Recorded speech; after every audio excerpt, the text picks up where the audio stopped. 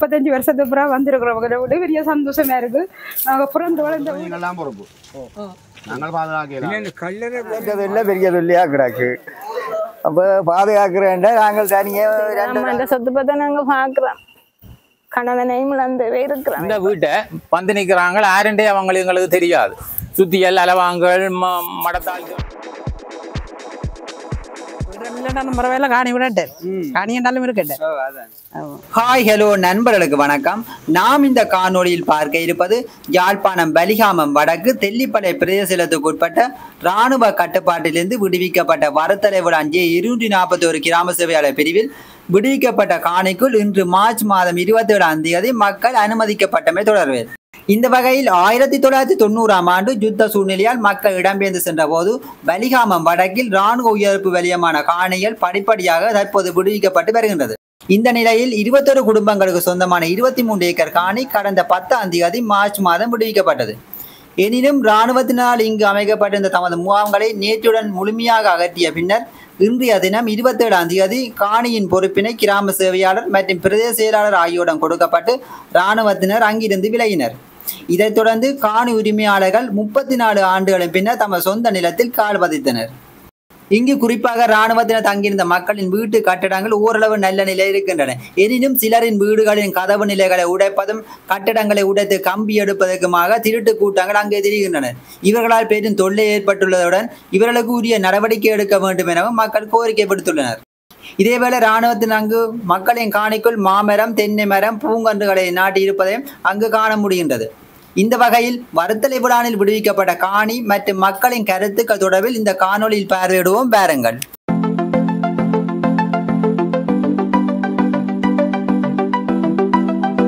முப்பத்தஞ்சு வருஷத்துக்கு வந்திருக்கிறவங்க விட பெரிய சந்தோஷமா இருக்கு. நாங்க பிறந்து வளர்ந்த வீடு இல்லாத இவ்வளவு ஆவலோட லீவ் எடுத்துக்கொண்டு ஓடி வாரம் பார்க்கணும் வந்து. சரியான சந்தோஷமா இருக்குது. அது அவ்வளோ ஒரு அவ்வளோ ஒரு ஆதங்கம் என்ன? முப்பத்தஞ்சு வருஷம் மண்டேகளை இவ்வளோ பெரிய இது.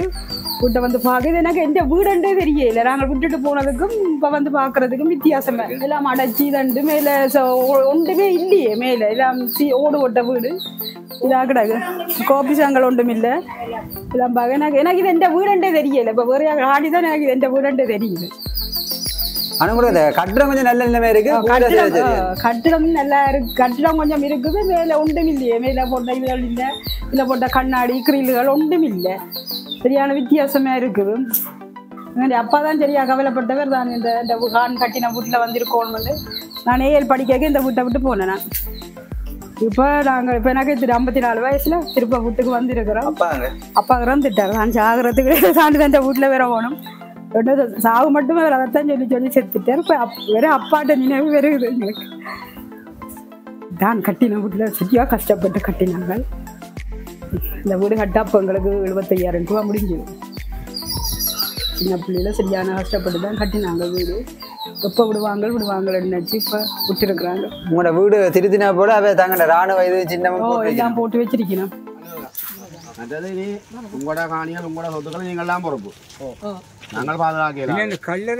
அது அது நாங்க வந்து நீங்கள் பொலிசுக்கு செக்யூரிட்டி தான் போடணும் அதை ஓடி நாங்க- நாங்க பொலிசுக்கு அறிவிக்கலாம் இனி நீங்கள் ஒரு செக்யூரிட்டியை போட்டு என்ன என்ன கூட வரும் வேலைக்காரியோட இருக்கிறோம் உங்களோட பொறுப்பு நாங்கள் ஒன்றும் செய்யலாம் சண்டைக்கு வரீங்க ஏ, உங்களோட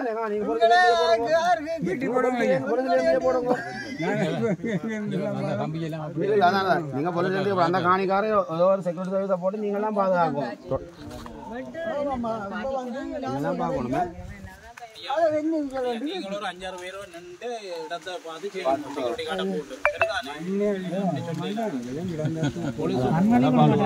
சர்வீஸை போட்டு. மரங்கள் நிக்குது. முகம்பு நிக்குது. எல்லாம் கொண்டு ஓடுவாங்க அதெல்லாம் பார்த்துக்கொள்ளுங்க அது நாங்க. போய்- நீங்கள் அம்மா நீங்கள் கொடுத்தானே இல்லை அது நாங்க செய்யறோம். உங்களுக்கு பாதுகாப்பு வேணுமே. சண்டைக்கு வராங்க அந்த ஒழுங்குகளுக்குள்ள பொம்பளை எல்லாம் கூட நாங்க பொலிசுக்கு அறிவிக்கிறோம் நீங்கள் நீங்க எல்லாம் கூட பாதுகாப்பு நாங்கள் ஒரு ஆளு என்னடி சண்டை அதான் இல்ல. அது இப்ப கலவை நிக்கிறீங்களானே சொல்லுங்க. கேக்கஸ் எல்லாம் செக்யூரிட்டி சர்வீஸ் அரேஞ்ச் பண்ணி இருக்கிறோம் அதை பே பண்ணி நான் வந்து பாக்குறாங்க பொலிசுக்கு அறிவிக்கிறாங்க. அதே மாதிரி நீங்கள் மெதுவாக பண்ண இருக்குது. இப்ப தனியா ரெண்டு ஆள் நின்றா பெரிய அது பிரச்சனை நாங்கள் வெண்ணு செய்ய செய்யறோம். நாங்கள் நிக்கிறாரு சரி நீங்க பாருங்க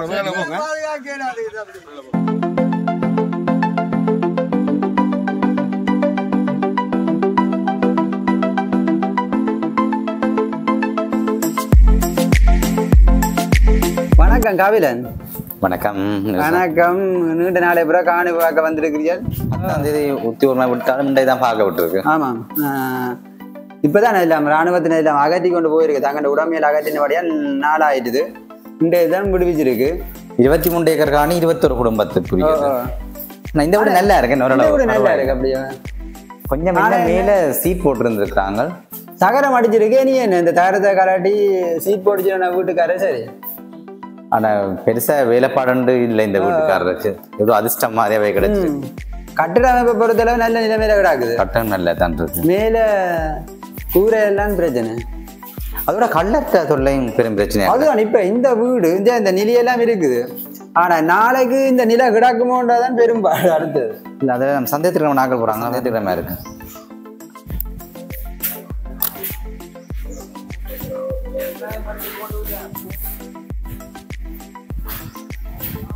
பாத்தீங்கன்னா அழகா இந்த வச்சிருந்துருக்காங்க கிச்சன் வந்து இருக்குது இந்த இந்த பிளாட் எல்லாம் இந்த பாதி உடைஞ்சே போச்சுது. ஆனா இதையும் நாளைக்கு நாலண்டே கிடக்குமோன்றதான் அடுத்த மிச்சம். இந்த பழைய இரும்புக்காண்டியே உடைக்கிறாங்களே ஓ பழைய இரும்புக்கு தான் இந்த வேலைப்பா நான் நினைக்கல இந்த வீட்டுக்காரர் இப்பவே வந்து வீட்டை தக்க வச்சு கொண்டா சரி. நல்ல நிறைய இருக்கு அதான் உண்டு. கட்டுறதை பொறுத்தவரை நல்ல இதா இருக்குது. ஆனா வீட்டுக்காரர் விரைவில் என்ன படுத்துக்கு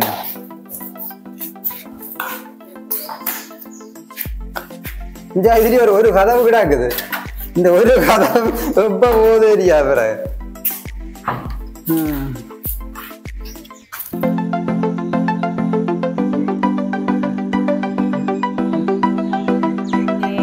நாற்பத்தொண்டு முப்பத்தாறு வருஷத்துக்கு பிறகு எங்கள் அம்மா அப்பான்ற வீடுன்ட்டு தான் விட்டுருக்குறாங்க எல்லாம் கலட்டி தண்டு போட்டாங்க.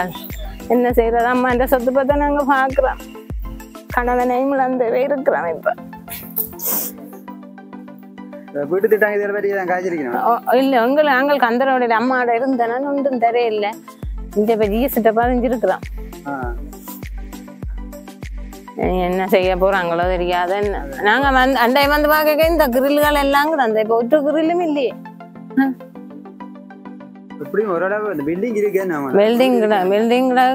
இது ஒற்றுக்கிழமைக்கா கலட்டி போட்டாங்க எல்லாம் கிடக்கு. அப்போ பாதுகாக்கிறேன்டா நாங்கள் தனியாக ரெண்டு நாள் வந்து பாதுகாக்க இல்லை அதுக்கு ஒரு ராணுவம் விட்டா ஒரு பொலிஸை போட்டு நாங்கள் வந்து எல்லாரும் வந்து செயல் பண்ணிக்க வேலை செய்ய அதை விளத்தலாம் ஓ அப்போ நாங்கள் தனியாக வந்து இங்கே பார்க்கலையா இவ்வளோ பேர் வந்திருக்கிறோம். மற்றது இந்த இந்த கிணறு வந்து உங்கண்டு உங்களோட கிணறு? தம்பி. இதில் ஒரு பதினஞ்சு பேருக்கு பங்கு. ஆ. பதினஞ்சு இந்த சுற்றாடலுக்கு பங்கு. ஆ, இந்த வீடு அதுல நல்ல வீடுகள் எல்லாம் எல்லாத்துக்கும் பங்கு. இருக்கு. ஓ இந்த வீடு இந்த வீடெல்லாம் வீடு தானே ஓ உங்களது இதெல்லாம் வீடு தான் எங்கட சொந்தக்காரர்கிட்ட வீடு தான். ஆ. அப்போ இதுக்கெல்லாம் பங்கு தான். அப்போ முந்தி பெரிய துலா போட்டு ரெண்டு துலா அலமிச்சாலே ஒரு அரசாங்கம் ஒரு விட்டால் ஒரு ராணுவம் விட்டா ஒரு போலீஸை பாதுகாப்பு போட்டு எங்களுக்கு சரி பண்ணணும். அதுக்கு அங்கே ஜிஏ சொல்லி கொண்டு போகிறேன் அறிவிக்கிறேன்டா இவன் வெறியினமோ தெரியா வேண்டியாக்கள்லாம் நீ வேயும் வேண்டியாக்கள்லாம் நீ வேயும் அப்போ ஒன்றும் செய்யல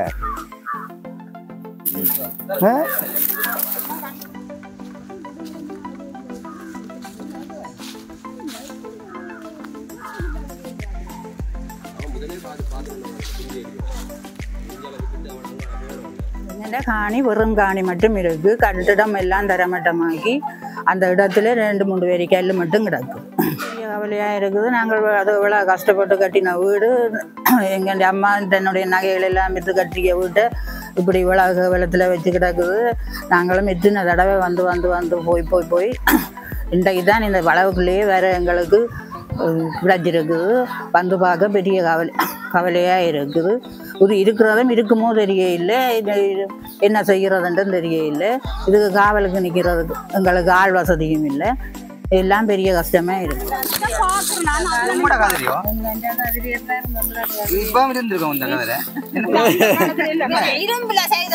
நீங்கள் நீங்க இருந்திருக்கீங்களா சரி ஞாபகமா எடுத்துக்கொண்டு போங்க விட்டீங்கன்னா இதெல்லாம் இல்லாம அம்மா பேர் அதுதான் அதுதான் ஞாபகம் சின்ன கூட அம்மா அப்பா இன்றைக்கு தான் இந்த காணி விட்டு இருக்கிறாங்க எங்களுக்கு இது முப்பத்தி நாலு வருஷத்துக்கு பிறகு இப்போ தற்சமயம் இது என்னுடைய வீடு. இந்த வீட்டை வந்து நிற்கிறாங்க ஆரண்டே அவங்க எங்களுக்கு தெரியாது. சுத்தியல் அலவாங்கள் ம- மடத்தாழ்த்துகளோட வந்து நிற்கணும் என்னென்னு கேட்டால் வீடு இடிக்க போகிறோமா ஏன் இடிக்க போகிறீர்கள் நான் உரிமையால் இங்கே நிற்கிறேன்னு சொல்லி அவர்கள் சொல்கிறாங்க இது ஆமி கட்டின வீடு. ஆமி கட்டின வீடு அதான் இடிக்க போகிறோம் யார் சொன்னா ஆமிக்காரன் சொன்னவன் அவன். அப்படி இங்கே சொந்தக்காரன் ஆக்கள் உரிமையாளர் இருக்கக்கூடியதா வந்து இதில் நின்று இடிக்க போகிறோம் இடிக்க போகிறோம் ஓடு கலட்ட போகிறோம் சீர் கலட்ட போறோம் சொல்லிக்கொண்டே நிக்கிறோம். இதில் எங்களால் ஒன்றுமே செய்யலாம் கிடக்கு நீங்கள்லாம் இதானே செய்ய வேணும் சார் இவ்வளோ பாருங்க இங்க அவ்வளோ கம்பியும் பாருங்க இடிச்சு கிடக்க அவ்வளோ கம்பியும் வந்துங்க அள்ளி கொண்டு நிற்கிறான் உரிமையாக்கள் குறைவு கல்லர் தான் கூட இங்கே பிறகு எடுக்கிறோம் பிறகு எடுக்கிறோம் வந்து இதுதான் செய்து கொண்டு நிக்கிறோம் இப்பொழுது நீங்க பார்ப்பது இங்கு ராணுவத்தில் அமைக்கப்பட்ட கட்டடமாகும் இதனை உடைத்துவிட்டு சென்றபோது அங்கு வந்த இரும்பு தகரங்களை பொறுக்கும் நபர்கள் அங்குள்ள கம்பிகளை உடைத்து செல்வதையும் மற்றும் அந்த தகரங்களையும் கொண்டு செல்கின்றனர். இன்று இரவே இந்த மக்களின் காணிக்குள் உள்ள வீடுகளில் உள்ள பொருட்கள் இருக்குமா என்பதே ஒரு சந்தேகமான நிலையிலே உள்ளது. அவங்க வந்து என்னத்துக்கு ஒவ்வொன்றுல தூக்கி தூக்கி சும்மா நோமலா சொல்கிறாங்கன்னு சொன்னா அது யார் யார் வீட்டுக்காரன் அறிகிறது? நிக்கணுமோ இல்லையோ இதுல வீட்டுக்காரர் இல்லையாண்டா அவங்க வந்து மற்ற இதை வந்து நாங்க எடுக்க அவங்க எடுக்க பக்கத்து வீட்டுக்காரன் வந்து தரத்தான் சொல்லுவாங்க உடனே இன்னும் ரன் விட்டாது இது செய்ய முடியுது. நோமல் அப்படி கொண்டு போவோம் நகரம் கீரம் இல்லாம கழட்டி போடுவாங்க. இல்ல எல்லாம் நா- நாளைக்கு கொண்டுமே இருக்காது. இன்றைக்கு வந்தாவளிய ஓ. இந்த வழி இல்ல. இன்றைக்கு வந்து இங்க நிக்கணும் நடந்தது இங்க இங்க ரெண்டா தான் வழி ஈராக் காவல் போடணும் வீட்டிலேயே வீட்டிலேயே பகல்ல நிக்கலாம் கிடக்கு நுழம்பு கிடக்கு இதுக்குள்ள நுழம்புக்கு ஒரு இரும்பு நம்பிக்கையான மனசருக்கு என்ன இவங்க. நாங்க அன்னைக்கு கல் அளவுக்கு தகரது இப்பவே இப்பவே அங்க அந்த முகத்தை பாருங்க. கஞ்சா அடிச்சாக்கள் மாதிரி தாங்க. நவுதித்தனம் தான் வந்திருப்பாங்க. ரெண்டு அப்பா துணிஞ்சிடறாங்களா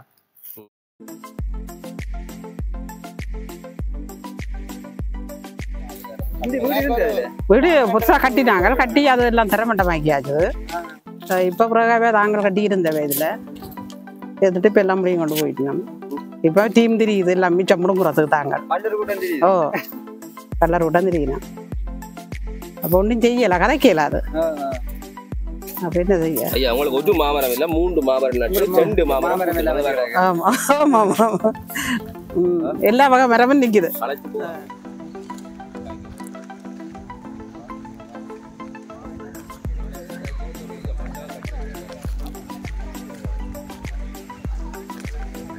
சந்தோஷம் முறவையில காணி விடட்டேன் காணி என்றாலும் இருக்கட்டேன் ஓ, அதான். ஆமா எத்தனை பேர் காணியம் கொண்டு இருந்தது இதுக்குள்ள ஒன்பது பிறப்பு அவற்றை அண்ணாண்ட பதினோரு பிறப்பு இதுக்குள்ள அப்படி இருந்துட்டு போடுவாங்க ஆனா இந்த காணியை சொ- சொன்னதாக ஆமா பண்ணி இப்பதான் வந்துருக்கு ஆனா இல்லாட்டி போன வருஷம் கடைசியோட விட இருந்தாங்க விட இருந்தது அப்புறம் விட இல்லை இப்பதான். சரி அப்படியே இந்த மாமரம் உங்களை பூ இப்பொழுது நீங்க பார்ப்பது இங்கு ராணுவ முகாம் இருந்த போது அவர்களுக்கு அமைக்கப்பட்ட சிறிய வைத்தியசாலையாகும். இந்த சிறிய கட்டடத்தை உடைத்து அங்குள்ள தளபாடங்களை எடுத்து செல்வதை கூட திருட்டு கூட்டம் அலைகின்றனர். இங்கு காணி உரிமையாக இல்லை என்றால் அங்கு ஒன்றையும் விட்டு வைக்க மாட்டார்கள் போலவே நிலைமை உள்ளது.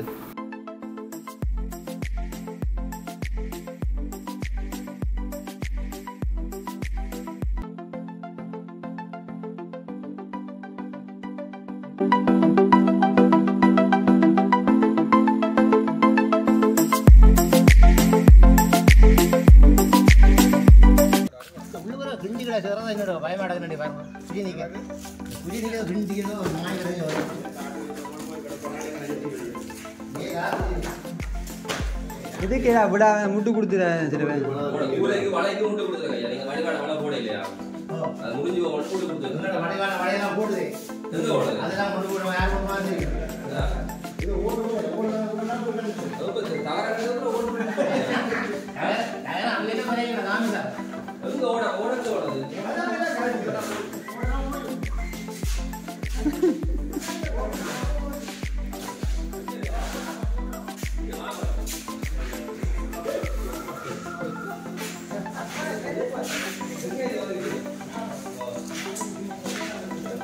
இப்ப அக்காவும் இறந்து போனா அக்கா தந்தை மகளிர் கொடுத்துருக்கா.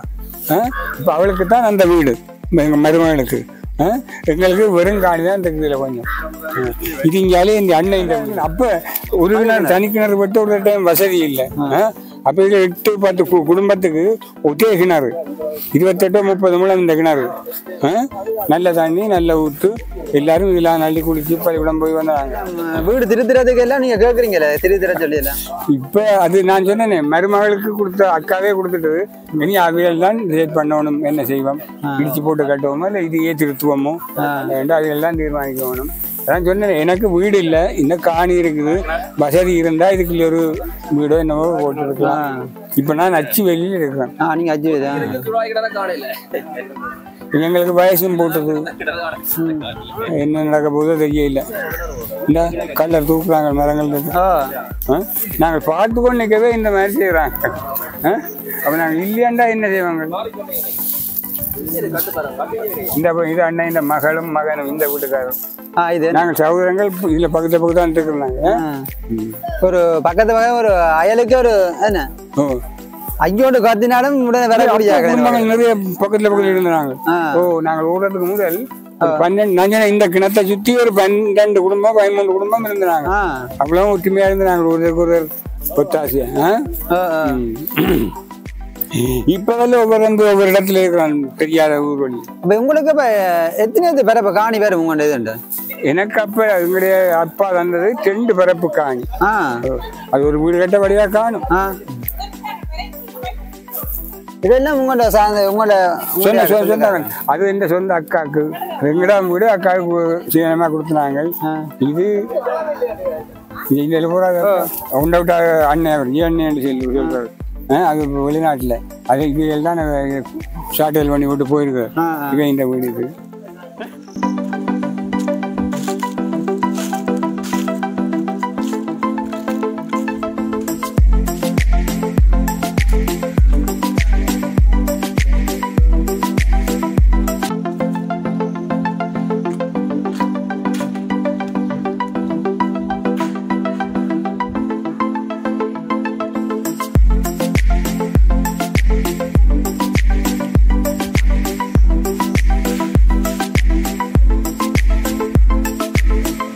நீங்க பார்ப்பது இங்கு ராணுவத்தில் அமைக்கப்பட்ட சிறிய கோயிலாகும். இங்கு முகாமிட்டிருந்த இராணுவத்தினர் பிள்ளையார் மற்றும் வைரவருப்பட்ட இந்து கடவுளை வணங்கியுள்ளனர். இதனை இரண்டாயிரத்தி இருபதாம் ஆண்டு பத்தாம் மாதம் இருபத்தொராம் தேதி அமைக்கப்பட்டுள்ளதாக அங்கு கல்வெட்டில் குறிப்பிட்டுள்ளனர். இந்த வகையில் ராணுவ கட்டுப்பாட்டிலிருந்து முப்பத்தி நாலு வேடங்களின் பின்னர் காணி விடுவிக்கப்பட்ட மகிழ்ச்சியை தந்தாலும் திருட்டு கூட்டத்தால் பெரும் பிரச்சனையாக மாறியுள்ளது. எனவே காணி உரிமையாளர்கள் உடனடியாக உங்கள் காணிக்கு சென்று உங்கள் உடைமைகளின் பாதுகாப்பினை பேணுங்கள். இந்த காணொலி உங்களை பிடித்திருக்கும் என நம்புகின்றேன். என ஜாலி ரூஜன் சேனலை சப்ஸ்கிரைப் பண்ணுங்கள் லைக் பண்ணுங்கள் பெல் பட்டன் ப்ரெஸ் பண்ணுங்கள் மற்றும் உங்கள் கருத்துக்களையும் தெரிவித்துக் கொள்ளலாம். மீண்டும் மற்றொரு காணொளியை சந்திக்கின்றேன். நன்றி வணக்கம்.